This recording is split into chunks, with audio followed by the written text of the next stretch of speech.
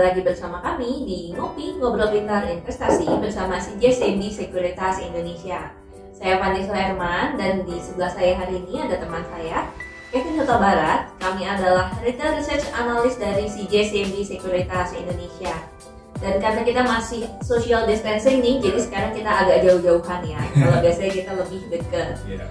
Nah, Vin, jadi hari ini nih, Vin, kita akan bahas tentang analisis teknikal. Hmm. Nah, tapi untuk kali ini kita bahasnya ini baru sepotong nih. Ya. Jadi nanti kita akan buat secara berkelanjutan. Nah, kita langsung aja ya, guys. Jadi ini, Vin, Ya. eh, beberapa hari terakhir ini itu mulai ada pertanyaan nih mengenai teori dan juga cara memakai dari analisis teknikal. Hmm. Nah, menurut kamu nih, Vin, sebetulnya pengertian analisis teknikal itu seperti apa sih? Nah, jadi analisis teknikal itu adalah pengertian untuk mempelajari chart atau grafik saham ya, untuk eh, mengetahui pola masa depan. Karena kalau kita perhatikan chart dan grafik saham ini kan ada di layar, ada di laptop atau ada di handphone itu kan masa lalu ya. Jadi kita lihat pola-pola masa lalu untuk prediksi pola masa depan melalui chart dan grafik yang ada di analisis teknikal seperti itu kan. Oke, nah jadi analisis teknikal ini bisa membantu kita untuk menentukan timing kapan buy, kapan sell ataupun kita hold ya, Vin. Ya, jadi dengan analisis teknikal ini kegunaannya untuk mengetahui posisi-posisi kita beli, posisi-posisi kita jual, dan juga posisi untuk saat tidak melakukan apa pun atau hold seperti itu sih. Oke, nah kalau gitu siapa aja nih Vin yang bisa menggunakan analisis teknikal ini? Oke, nah biasanya analisis teknikal ini adalah tipe tipe frame yang sangat pendek atau short term.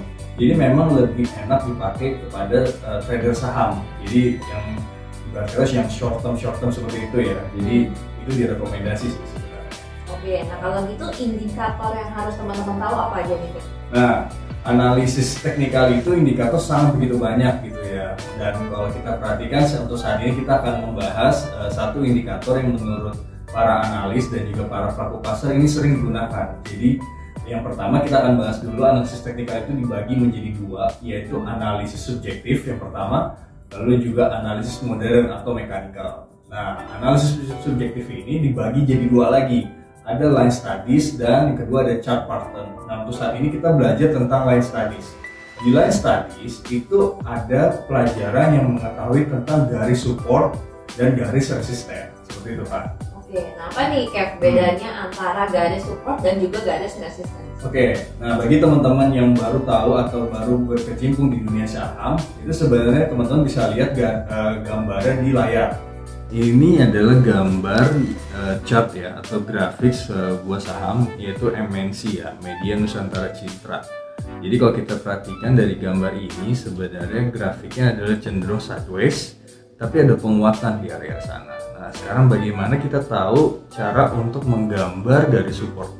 Nah, ingat kalau tadi garis support adalah di bawah chart.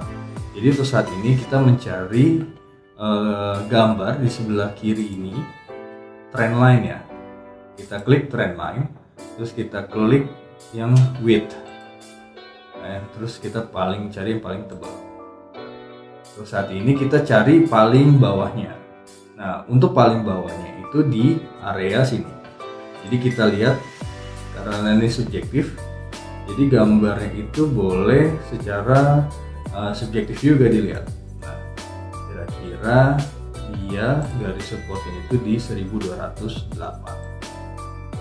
Kira-kira seperti itu. atau 1200 jadi kalau kita perhatikan garis support ini membantu ketika kita untuk bisa beli saham itu disebut garis support jadi kalau teman-teman perhatikan saham MNC ini support paling kuatnya di level 1200 kalau toh dia turun kira-kira jangan sampai eh, apa jebol atau turun. Lebih eh, misal kurang dari 1200 jadi bisa 1190 atau 1100 itu biasanya supportnya nggak kuat. Tapi kalau lihat dari support yang dari bulan Agustus sampai dengan Februari tahun 2020 dia kekuatannya di 1200 kurang lebih ini gambar dari level support Nah, jadi garis support itu kalau diperhatikan dari layar itu adalah garis yang di bawah chart.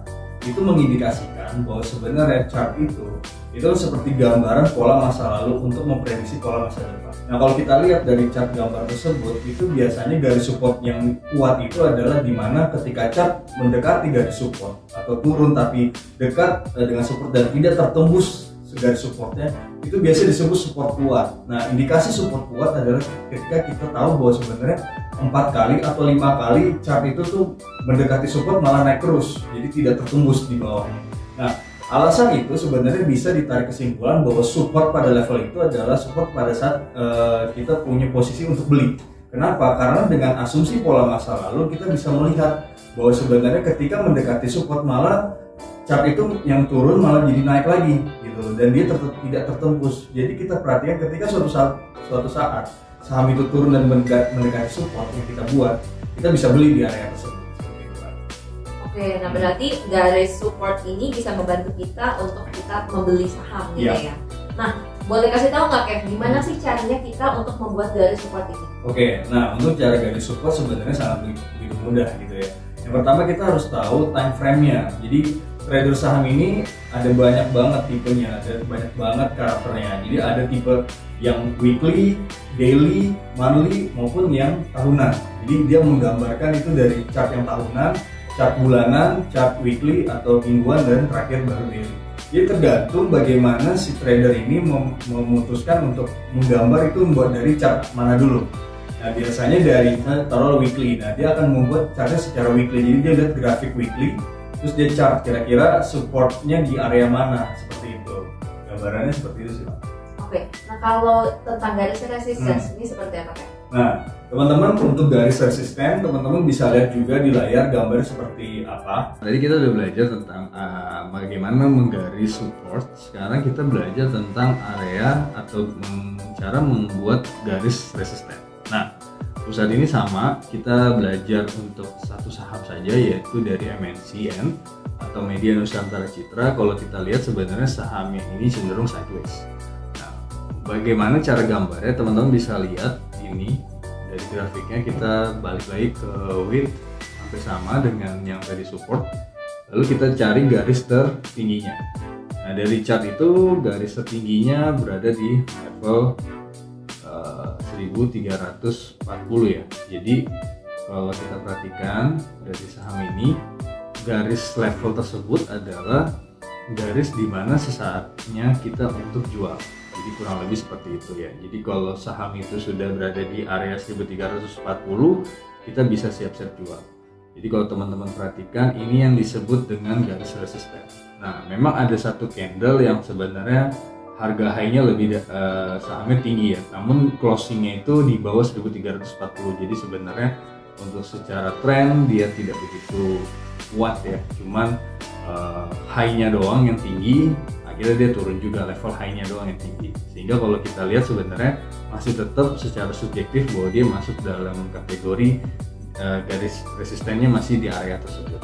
Biasanya garis resisten itu dipakai ketika asumsinya adalah menjual nah saham itu seperti bola teman-teman di mana bola basket kalau kita lempar ke bawah dia akan mantul ke atas nah ke atas itu biasa disebut dengan plafon nah biasanya bola yang udah nyentuh plafon itu dia akan turun lagi nah Padahal sebenarnya kalau kita perhatikan dia bisa juga nembus resisten yang selanjutnya, selanjutnya dan selanjutnya. Tapi kalau lihat dari gambar yang tadi teman lihat sekarang adalah tipe chartnya adalah chart sideways yang di mana ketika dia sudah mendapat di level atas dia akan turun lagi. Nah, posisi resisten itu sebenarnya menggambarkan pada saat kita e, menjual saham itu di level tertingginya seperti itu karena kita punya asumsi ketika dia sudah mendekati resisten polanya dia akan swing ada tanda kutip pada dia akan turun Nah, ketika turun kita telat untuk uh, menjual itu ibarat kata returnnya menipis gitu loh dibandingkan pada saat kita membeli di support. Jadi lebih baik kita jual pada saat lagi high-nya. Apalagi, apalagi kita tahu bahwa pekerjaan trader saham adalah fokusnya adalah membeli saham saat murah dan menjual pada saat harga tertinggi. Dan di situlah kenikmatan untuk menjadi seorang trader saham. Oke, nah kalau gitu intinya kita dapat menggunakan garis support ini untuk kita membeli sebuah saham dan juga kita jual saat sudah kena di garis resistance ya. gitu ya. Nah gimana guys, seru kan perbincangan kita kali ini? Jadi jangan lupa untuk like, comment, dan subscribe YouTube channel kami di CGS CMB Sekuritas Indonesia.